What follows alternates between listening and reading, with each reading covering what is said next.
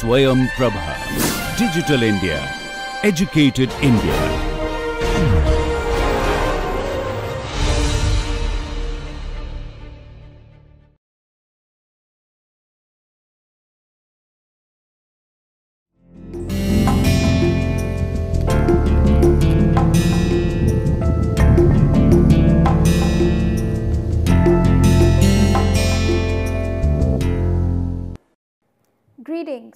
My name is Ariba Shabir and we have been discussing English language teaching.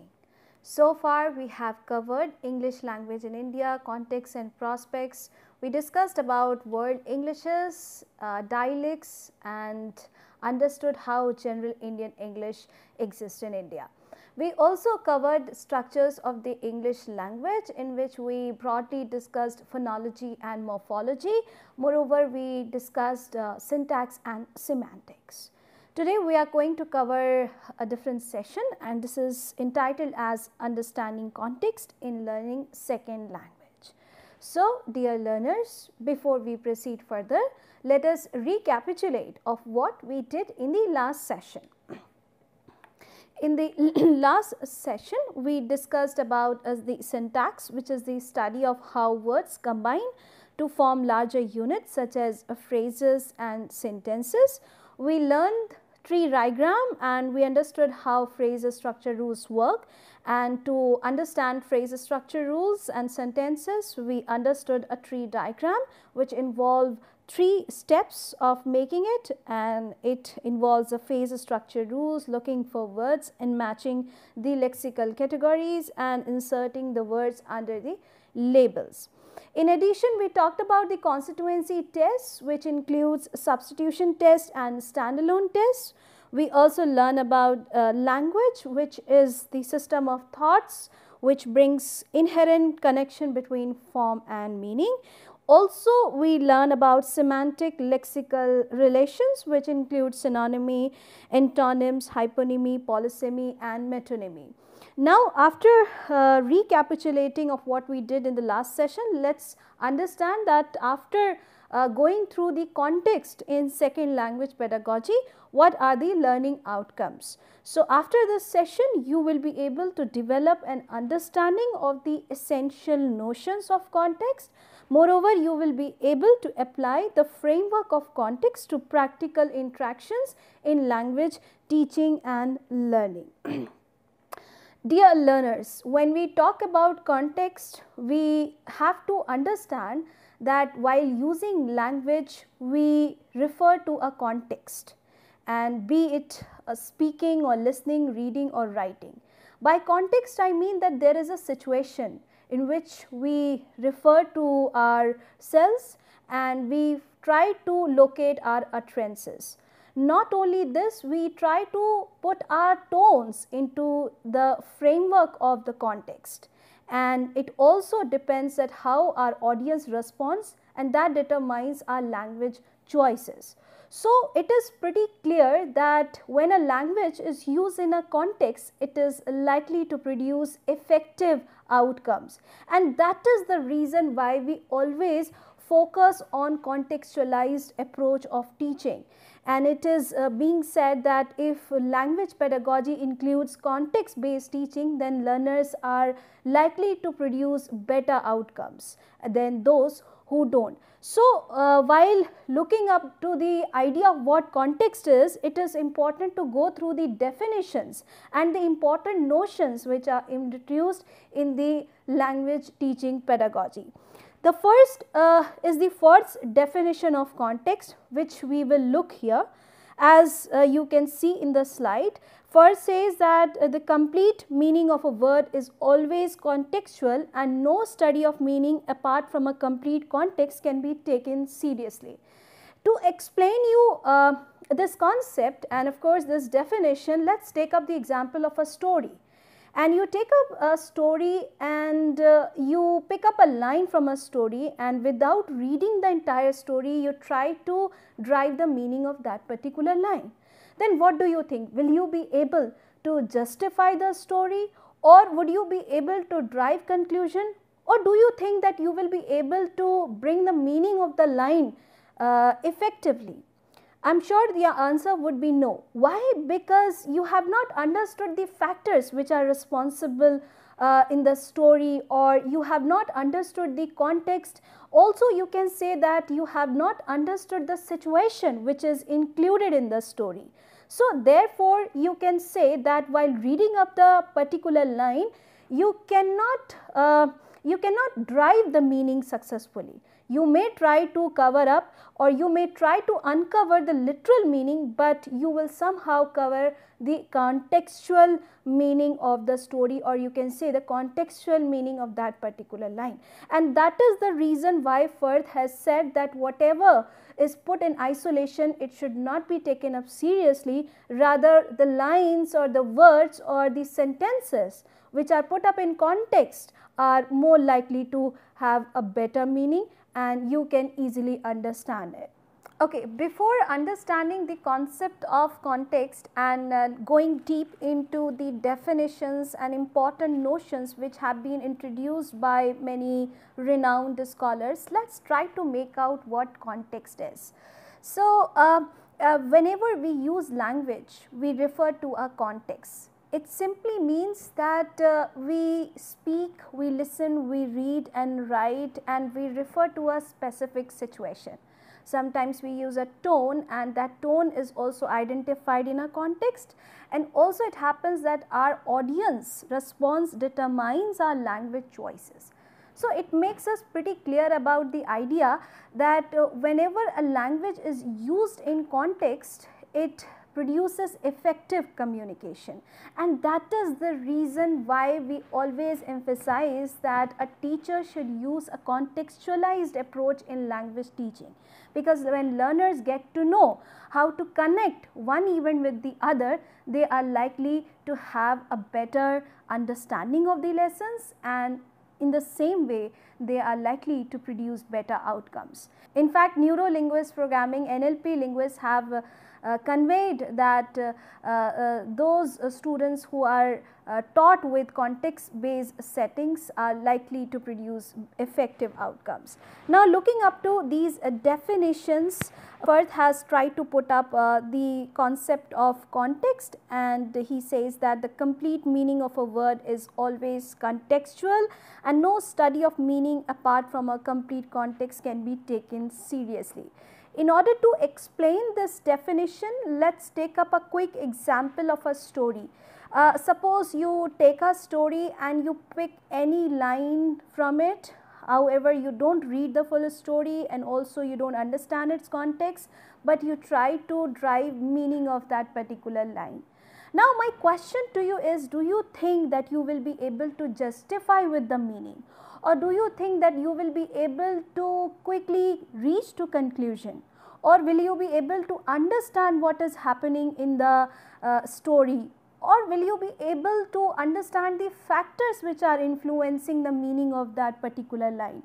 I am sure your answer would be no. The reason is that when you read uh, story from the beginning and when you read and proceed uh, uh, continuously then you are likely to understand what context is, you are likely to understand its factors and you also comprehend the meaning in a better way. So, it is pretty clear that uh, a line should not be in isolation rather it should comprise of context. And to understand the context you should learn the factors. You should know what is happening around it. And you should know what is making uh, the line uh, and you should know what is the effect of that particular line. Only then you will be able to understand the story in a better way in an efficient way and that is the reason why Firth has said that whatever the word you hear or whatever the line or you can say sentence which you hear is primarily uh, not uh, comprehensible in isolation. If you understand words and sentences in context, you are likely to have a better understanding. Similarly, there is another co uh, concept which is quite popular and that is communicative competence. Let me tell you that the first uh, notion which was introduced was linguistic competence, but uh, communicative competence was the answer to the linguistic competence.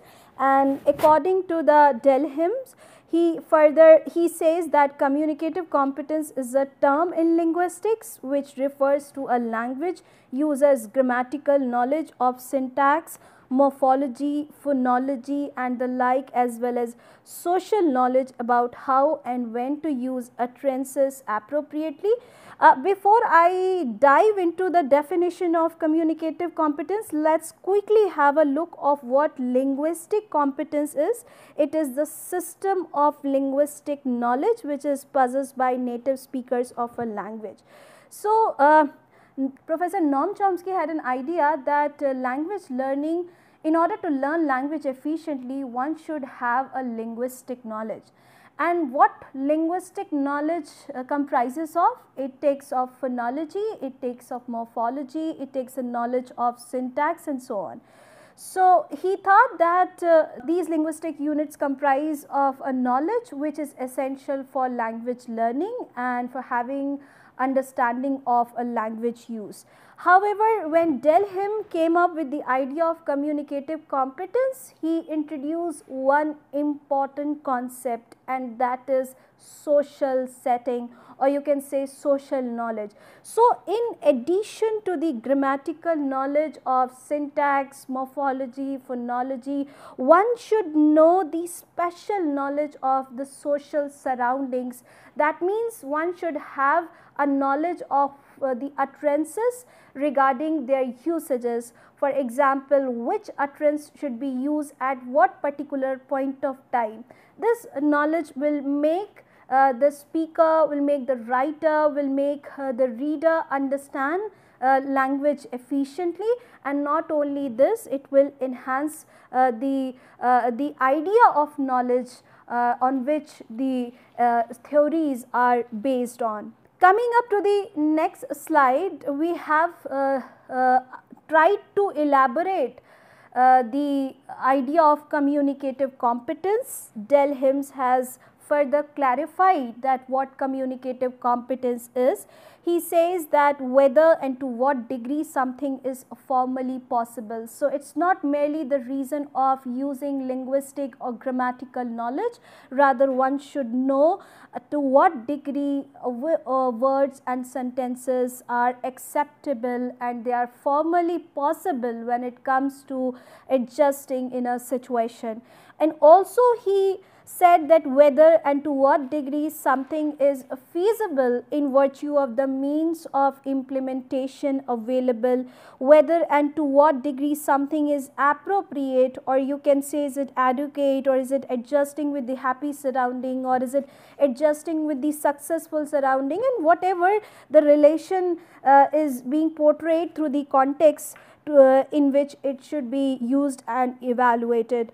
Moreover, he also highlighted that whether and to what degree something is in fact done, actually performed and what it entails. After uh, the understanding these concepts, let us also try to have a look of Halliday's view. Halliday uh, uh, says we do not experience language in isolation, but always in relation to a scenario some background of persons and actions and events from which the things which are said derive the meaning. So, Halliday is trying to mention that uh, whatever we say we should not uh, judge those things in isolation, it has some relation with a scenario, some background of persons, it entails the actions and it also refers to a events from which the things are being derived. And let me tell you that uh, uh, it is being it was argued before that uh, when learners come into the class they come with empty mind or you can say learners mind was compared with an empty vessel However, postmodern uh, theorists say that a learner does not come uh, with an empty vessel rather he or she has some context in his mind how a learner might be might have seen a movie before coming to a class or a learner might have talked to his friend before coming to the class. So, he or she has some background, some context in which whatever is going to put in front of him is uh, uh, uh, Uh, uh, uh, going to be interpreted in that way. Therefore, it is very important to understand that language whatever we speak, whatever we hear, whatever we observe are not occurring in isolation, they are coming up with a scenario and they are coming up with some background and these information gives a lot information about the listener or the reader or the viewer and also about the speaker, the writer. There is one more uh, point which Halliday has uh, tried to put up his view uh, and this view is put uh, in this slide. If the observer can predict the text from the situation then it is not surprising if the participant or interactant who has the same information available to him can drive the situation from the text in other words he can supply the relevant information that is lacking. So, when a person speaks in context, it is pretty clear that other uh, that the respondents or the listeners they they try to fill up the gaps and also they try to respond in those situations where the speaker himself is unable to drive it. So, that is how you know a mutual understanding takes place and not just the mutual understanding it is a rapport which takes place and this rapport essentially occurs because of the context. So, if one is lacking the other fills it up and the other is lacking the other uh, uh, you know uh, puts in. So, that is how a scenario exists, that is how a situation exists and people uh, listen to each other, react, uh, respond and uh, present their ideas, express their opinions and follow up on the basis of those opinions. That is what a context is comprised of. Now, uh, when we talk about a situation, we generally refer to the context and this context of a situation comprises those features which contribute to the production and interpretation of language use. Let us take up the example of a situation where you are going to buy a ticket for uh, you are standing in a railway station and you are going to purchase a ticket right. So, when buying a train ticket the relevant feature of yours will be put up and uh, other features like your height, like your weight, like your family background would not be important at this particular situation. Why? Because uh, these situation is not uh, the, these points are not required in this situation. What is required in this situation is that you need to tell which destination do you want to uh, uh go.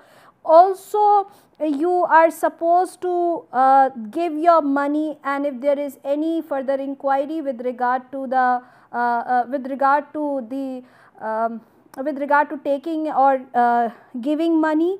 Also you can talk about uh, uh, the travelers who are going to accompany you. For example, uh, you can talk about a person who is elderly plus. So, you may give the detail because uh, uh, because there would be a concession for that person or if a child is traveling with you then also you are going to provide a detail. So, these would be essential details these, these would comprise context. What would be out of the context is the height, weight, family background, your business, your job and so on. So, these things will not include in context what context is that you talk about the details which are required for the purchase of ticket for for for giving money for taking back money for talking about change for talking about the number of travelers for uh, telling about the uh, for telling about the destination where you want to get down and so on. So these conversations are going to be very concise and would be dependent upon the crux of the content also we talk about relevance when we discuss uh, context because relevance makes possible for the participants to identify those features of the situation that come into play when they make sense of a situation and use language in accordance with the requirements of the particular situation. Now, in the example that I just gave you that you are the customer and you are going to purchase a ticket. Let me tell you that uh, when you are buying a ticket there would be a huge queue behind you right. So, do you think that you will keep on chatting with the persons with the individuals who are standing behind to you or do you think that you will try to uh, entertain yourself through a video or you will watch movie? No. At that point of time you will be very focused and you will only have a goal of taking a ticket.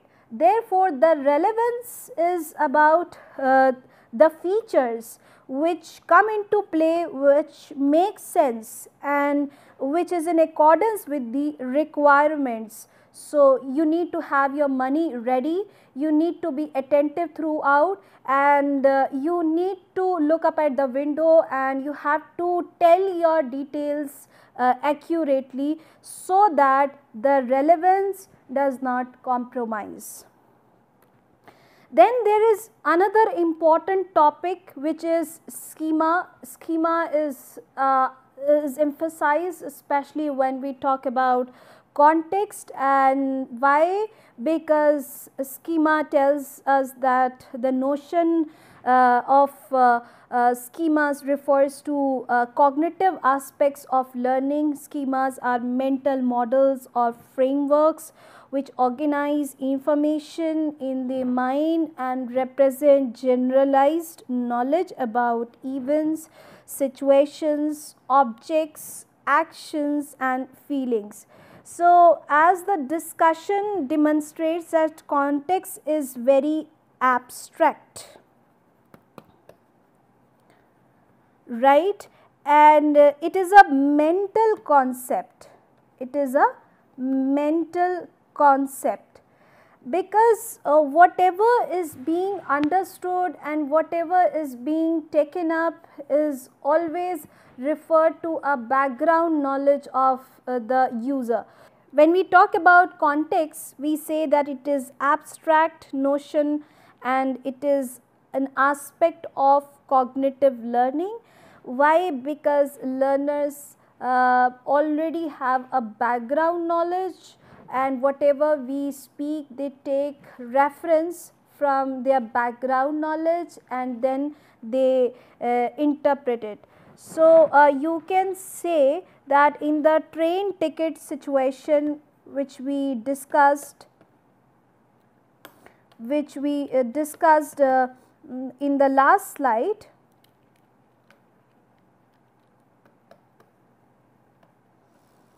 the customer can buy the, uh, buy the ticket only if they recognize and identify the surroundings as an instance of buying a ticket situation.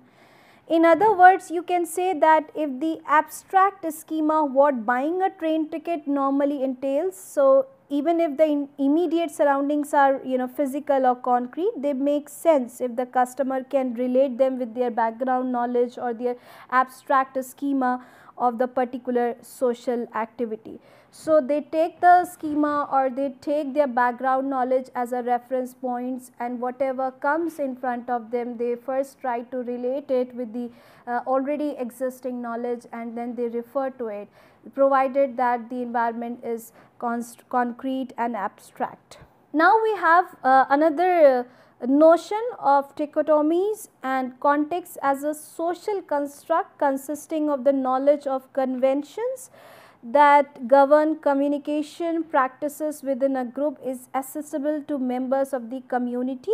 As a consequence, the analyst as a member of the community has first hand insight into the group's social practices and can utilize the first person introspection or observation. To make you this concept uh, uh, clearer, let us try to take up a situation where you are sitting with your friends and you have been discussing on let us say environment and your discussion has taken it has taken forward by your group members and in the meantime you see that uh, a friend has come late and has tried to join in your discussion. So, you know whatever the discussion has taken place would be uh, largely understood by the people who are already discussing or who have already been taken this discussion forward. The person who has come later or who has tried to join the conversation later would find difficulty or would not be able to find the track of the conversation that is already going on. So, that is how what context is that in order to understand uh, what conversation is going on, what are the things that have been discussed, what are the um, uh, outcomes that have been uh, that have been understood or have been discussed. It is important for the person to realize the context, to uh, to go through to understand the role of the each member, to identify who has taken up and what is the goal of this conversation. So, there would be lot of things which a person who has come late needs to know right. So, that is the reason why we say that anybody cannot join any time rather one has to look up for the context which is already go, going on and the context is uh, provided in a situation and the situation gives them chances to, uh, to take upon. So, dear learners, when we talk about speech act theory, uh, we refer largely on context. We also think of words which uh, we also think of words and sentences which, which are not merely the words or sentences which talks about the action to be taken or which encourages action to be taken right after it. So, uh, let us try to look up at these uh, words which are being presented in this slide. What is a speech act and what this theory is trying to convey? That the speech act theory considers language as a sort of action. Now, here action is the key word uh, so, the speech act theory considers language as a sort of action rather than a medium to convey and express. The speech act theory was developed by J.L. Austin he introduced this theory in 1975 in his well-known book of How to Do Things with Words. Later, John Searle brought the aspects of the theory into much higher uh, dimensions. So, speech act theory is basically about the action or uh, it is not just that the medium it, that conveys and express, but also uh, how an utterance leads to an action.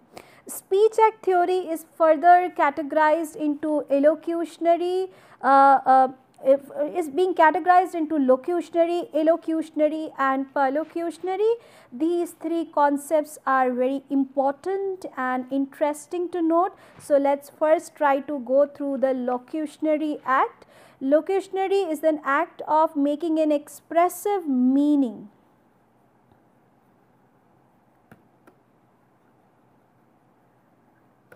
it, uh, it, is an, it is like extending the spoken language preceded by silence and then followed by silence or change of speaker also known as locution or an utterance act.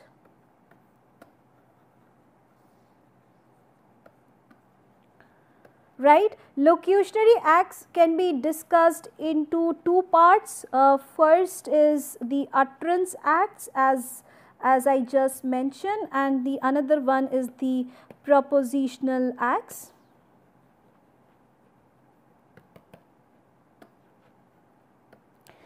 An utterance is a language that comprises of the verbal employment of units of expression such as words, such as sentences, right. And prep Propositional acts are clearer and expressive with a scientific or you can say with a specific definable point as opposed to mere utterances acts. Right. And uh, they uh, may be meaningless sounds. For example, if you take up just uh, the locutionary uh, act, you can say the dog is on the floor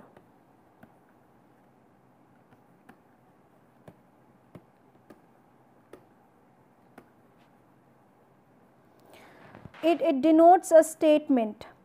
If I say, do you want to have a coffee or do you want some coffee, it is an interrogative sentence and it is used to ask questions. Similarly, you can say close the door.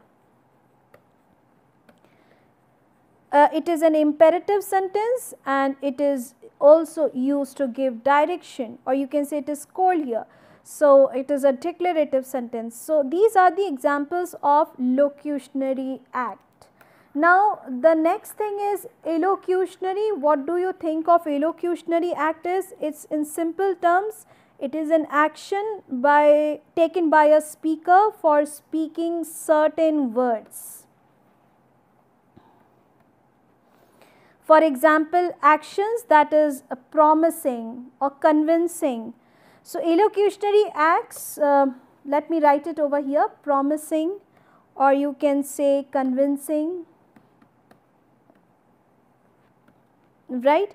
So, in a as uh, illocutionary acts of a language is, uh, is, is, is that act in which a person is said to be doing something such as stating or denying or asking or promising or convincing. In an illocutionary act, it is not just the act of saying something, but the act of saying with the purpose of stating an opinion or promising or confirming or denying something. You can also say that an illocutionary act is uh, done for the purpose of making a promise, a request or issuing an order or a decision or giving uh, an advice or uh, a permission. And if I have to give you the example of illocutionary acts, I can say that you can use I promise you to pay back.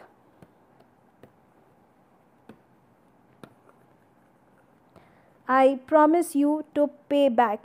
It is an illocutionary act uh, because it is communicating the promise or you can say there is too much homework in this subject. So, that would come under the label of opinion you can say I will do my homework later. So, in that case it would be a promise right or you say go and do your homework. So, it would be like an order. So, therefore, illocutionary is an action taken by a speaker for speaking certain words and these actions comprises of promise, conveyance, order and so on.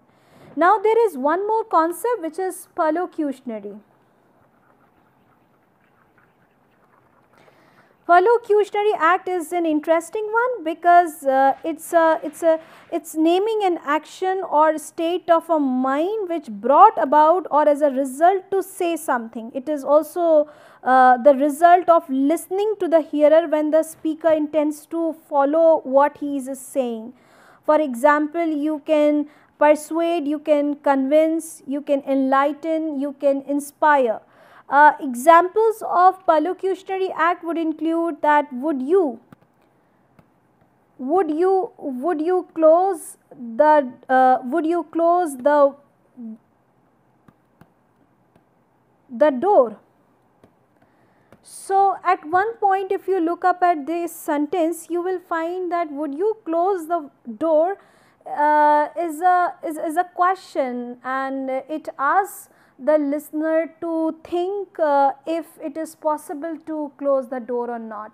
But at the same time you see that there is a slight difference when it comes to the meaning of it or you can say there is a slight difference when it comes to the intention of uh, this uh, question. It is basically a request, would you close the door? Similarly, you can use other examples like uh, could you please bring me a glass of water?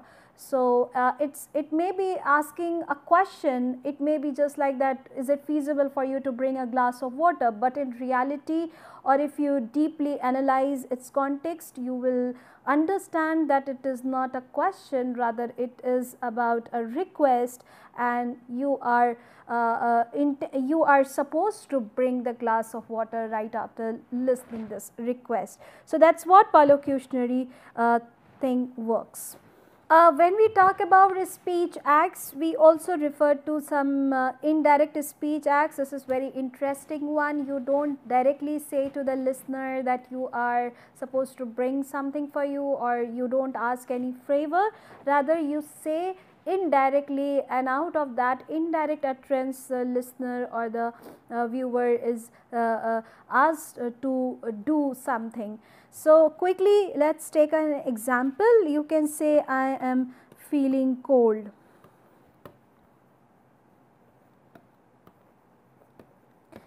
Now, after looking up at this sentence uh, you will immediately go and close the window or you will uh, be directed to do something which will help me to feel cold less right. So, if the window or if the door is uh, open and after listening, this utterance you uh, will automatically get the idea to close the door and the window. So, you need to uh, understand here that not all the utterances are spoken directly but there are some utterances which are coming under the category of uh, indirect speech acts. So, I am feeling cold or you can say I am thirsty. Basically, you are expressing yourself, you are expressing your, uh, your uh, you can say you are trying to express yourself. But what is happening over here is that uh, in addition to your expression, it is, uh, it is persuading the listener to do something for you right and that is what the concept of indirect speech acts is. You can say that request is performed indirectly and in a more indirect way and uh, this these kind of sentences when you use in real life situation make the other person uh, realize that he or she should do something to make the uh, situation uh, comfortable. Now, in the uh, same way we talk about cooperative principle, we understood what speech act theory is. Now, let us look up at the cooperative principle. It is in linguistics, it describes how people achieve uh, effective conversational communication effective communication. Now, this is the key word in the uh, uh, in the cooperative principle which was given by Paul Grice and it was introduced uh, in the concept of pragmatic theory. And uh, it says that uh, people achieve effective communication in common soci social situations. Common social situations.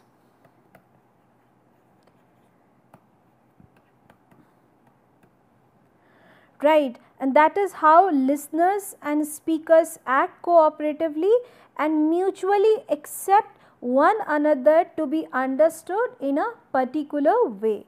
So, uh, Paul Grice who once mentioned that make your contribution uh, such as is required at the stage at which it occurs by the accepted purpose or direction of the talk exchange in which you are engaged unquote. So, this was uh, uh, given by Grice in which he wanted to say that your contribution should be uh, should be should be uh, in such a way that it should accept the purpose or it should direct the communication which is taking place among your peer members so that they can understand and they take it forward and then you reach the goal.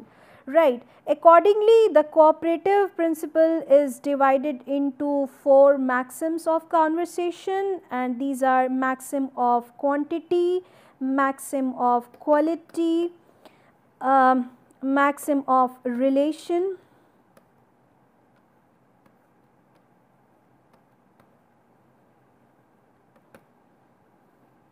and there is one more which is maxim of manner.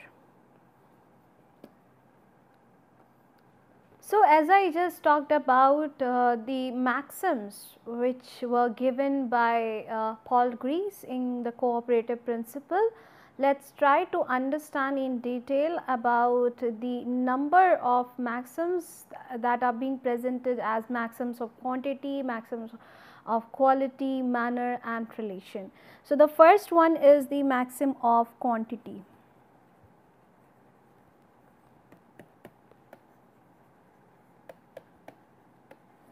Now, in the maxim of quantity we generally refer to the content length and depth. It simply means that the maxim of quantity is to be informative.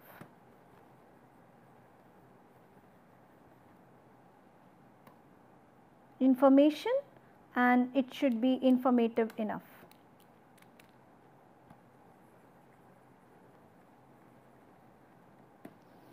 So, uh, what you can drive from the entire uh, maxim of uh, quantity is that you should make your contribution as informative as it is required that is for the purpose of the exchange. And also what uh, Grice has tried to mention in this is that do not make your contribution more information more informative than it is required. So, this is the analogy which is used by Grice and it is it, it refers to how much the length and the depth you should take into the consideration while exchanging information with the peer members. Now, the second one is the maxim of quality. Maxim of quality is an interesting one and in simple terms it talks about the truth right and uh, its quality should be truthful. So, you can say that one should make contribution in a way that uh, promotes truth or one's utterance should be evidence based. So, do not say what you believe is false and also do not say for which you lack uh, adequate uh, evidence, right. So, contribution that uh, is that that promotes truth and also which is uh, which which is which consists of evidences. Now, the next one is the maxim of relation which is also interesting and it promotes us to understand how uh, one should cooperate and one should uh, communicate within a group and make uh, that setting and context more comfortable. So, relation is referring to the relevance. When I say maxim of quantity, quality and then there is another concept that is maxim of relation. So, relation refers to relevance, right. So, be relevant. One should ensure that all the information that is relevant to the current exchange. Therefore, uh, omit which is irrelevant uh, and speak what is important and which uh, information is required at the particular point of time. So, that is what the relation entails and there is one more important maxim which is being put up by Grice and he says maxim of manner. Now this is an interesting one as it tells us to remain clear or you can say it promotes clarity in a group right. So, in simple terms the maxim of manner is to remain clear uh, whereas the previous maxims are primarily concerned with what is said, the maxims of the maxim of manner is connected with how and what is said is set. So, you need to be uh, uh, uh perspicacious. So, for uh, in, in order to attain the maxim of manner, you need to keep in mind certain things and these things are being proposed by Paul Grice. He says that you should avoid obscurity of expression. Let me write it down over here. Obscurity of expression. Now what is obscurity? It means you should avoid language which is difficult to understand. So avoid language which is difficult to understand. Now you need to understand what should be the age of the audience or what should be the age of the people who are contributing in your communication, what is their background, what is their educational qualification and uh, what is their uh, convenience with regard to the topic that you are discussing. So, if you come up with technical words which other people are finding difficult to, to understand or if you belong to a certain profession and you are using those words which are not comprehensible to the other speakers or to the other members of your communication group, then they are likely to less understand you right. So, uh, the effectivity of communication would not take place. That is the reason why we say that before presenting your ideas or before communicating among yourselves, you need to consider the audience or the viewers background with respect to their age, with respect to their background in terms of their educational qualification and of course their profession. So, a person who comes from a science background would not be as comprehensible to the business person because he uses jargons, because he uses registers. So, by jargons and registers I mean that he or she uses technical words and therefore similarly a business student would not be comprehensible to the arts student if he or she uses the words which are technical to his field.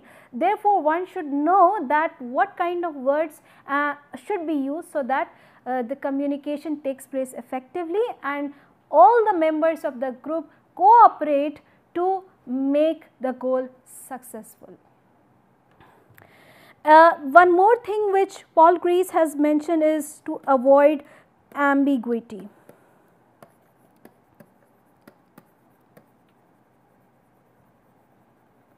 Now, what is ambiguity as I told you in the uh, last session uh, when we were discussing syntax and semantics ambiguity occurs at word level and it also occur at sentence level. So, to give you a glimpse um, uh, ambiguity uh, would refer to the meaning would refer to a word which has two or more than two meanings. Similarly, a sentence which is not clear and it may uh, give rise to different interpretations. So, for that matter you need to be quite precise and clear and clarify if you think that you have used an ambiguous sentence so that uh, uh, your uh, ease of communication uh, becomes better right. Then also uh, in manner of uh, in, in maxim of manner Paul Grice talked about be brief. Okay, what is be brief? It means avoid unnecessary prolix, uh, pro, uh, uh, unnecessary prolix, prolixity. Prolixity uh, here I mean that you should avoid the information which is not useful or you can say which does not fall into your context, which does not fall into uh, the uh, situation in which you are passing through or which is not really concerning with the team members who have been discussing uh, a topic or who have been uh, trying to put up your views or following your views. So, uh, you know in order to make the conversation precise, clear and optimistic, you need to take care of avoiding redundancy.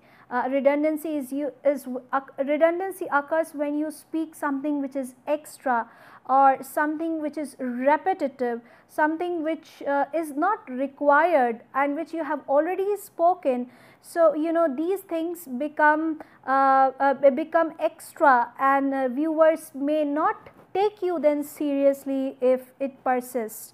So, you need to take up uh, certain things about your briefness that your articulation, your word choices and your sentences become concise and they should avoid redundant uh, expressions. Then there is uh, one more point which is important to mention here is uh, be orderly. Now as the word indicates orderly, it refers to sequence, it refers to going step by step. You cannot put any point at any juncture. You need to think that which point should be take up uh, initially and which point should be taken up at a later stage uh, such that it becomes comprehensible and easy to understand by your group members and you need to first brainstorm then you need to introduce, then you need to add some details, you may take up some statistical details, you can add some rhetoric details, then you can conclude. That is how you proceed with the content. It is not like that you come and uh, put up any point without even introducing or without making the base or the foundation. So, it is likely to produce less effectiveness. If you go through the order then uh, the information which is provided will make sense and it will be easy for the recipient to process in his or her mind. So, now we will discuss relevance theory because when we go into uh, because when we dive into context we talk about the relevance and if you are uh, if you are understanding these concepts deeply I am sure you have understood the idea of what relevance is and how relevance is important in a conversation. So, this is a uh, this is an important uh, theory which was given by Dan Sperber and uh, it was presented with Theodore Wilson. So, relevance theory is a framework of the utterances which is interpreted or you can say it is a framework for understanding the interpretation of utterances.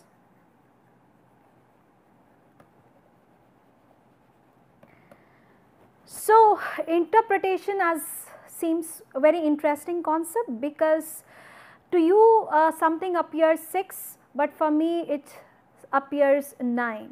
You know for everybody a situation and the context remains different especially uh, when we talk about the interpretation we interpret our utterances in a different way, the other person interpret in a different way.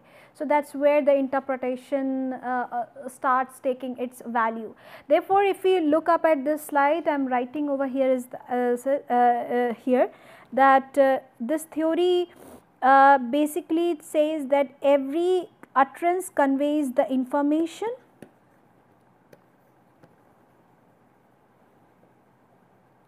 and that is relevant enough for it to be worth the addressee's effort to process it.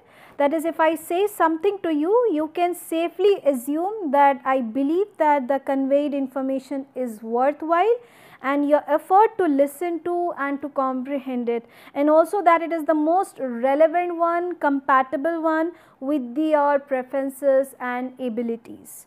So, I try to make the utterance as easy uh, as possible uh, to give you information uh, about the content and to make the communication easy and to the point. So, other key ingredients of relevance theory is that it uh, the that the uh, utterances are ostensive ostensive. Now, Uh, ostensive here refers to that they draw their addressee's attention to the fact that the communicator wants to convey some information and also inferential.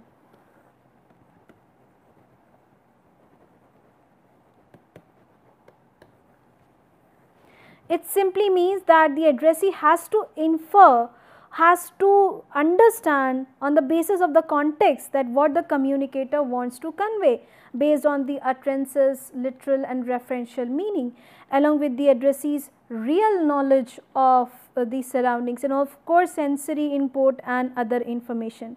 So, inferences uh, or you can say inferential is something which is important and it is intended by the communicator as it implies explicatures and implicatures explicatures and implicatures. Um, the explicatures of an utterance are what is explicitly said.